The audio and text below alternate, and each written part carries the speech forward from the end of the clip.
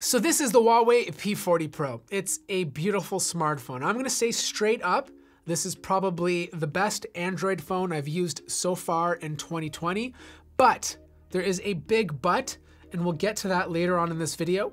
I also wanna say they've improved it in many ways. Camera's better, screen is better, everything is better. Like you hold this phone, it feels better in the hand than the previous P30 Pro, it's not as skinny or chiseled at the edges, so it just feels more comfortable in the hand.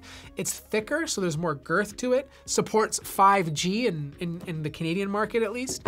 And you have a more pixel dense display. This display has been bumped up to 6.58 inches. The resolution has increased to 2640 by 1200, and we finally get a 90 hertz refresh rate. And it stays on at the highest resolution. You don't have to tone it down when you're at full HD like you do on the S20 Plus. Speaking of the S20 Plus, it kind of looks a bit like it. Like these bezels are almost just as thin on both of these devices. It has some design influences in the front facing camera taken from the S10. The front facing camera also happens to be 32 megapixels and it's paired with a depth sensor. So with that, you get some pretty good front-facing photos. I actually did a couple of tests compared to the Galaxy S20 Plus, and you guys let me know which one you think did a better job.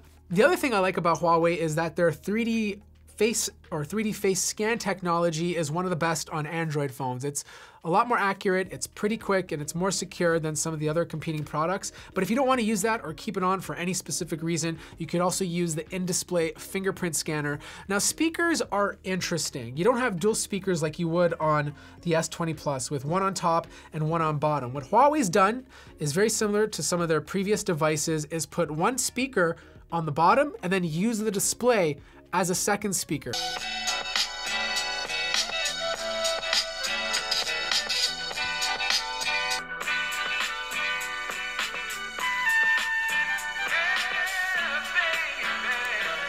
Now the big deal about Huawei phones is always the camera. This time they're bumping up the megapixel count to 50 for the wide lens, 40 for the ultra wide lens and you have a 12 megapixel telephoto lens. The beauty about this phone is you can zoom in up to 50 times using digital zoom. Is it any good?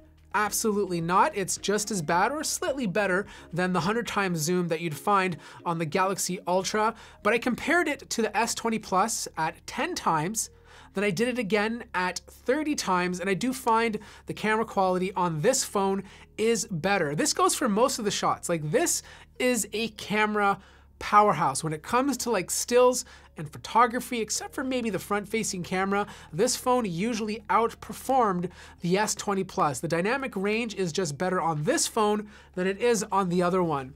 Now, when it came to video, I still think the S20 has a slight edge. This phone can't shoot 8K, which is not a big deal. I think it's mostly a gimmick at this point, but when it comes to 4K or 1080p, video is still slightly better on the Galaxy S20. So right now, we're doing a front-facing video test. This is the Galaxy S20 Plus versus the Huawei P40 Pro. You guys let me know which one sounds the best, which one looks the best, and which one has the better stabilization. So let's do a little quick run test.